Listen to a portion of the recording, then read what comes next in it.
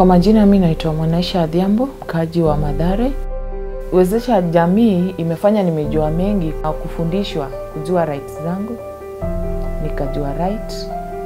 Chini ya Wezesha Jamii tumefunzwa pia mambo na biashara, ambapo sikuwa natarajia naweza fanya biashara maishani mwangu, ambapo kwa saa hii nafanya biashara, nikitoka kazi yangu hiyo narudi nafanya biashara. Nimewahi kukutana na Youth Alive wakatufundisha about NSSF na NHIF.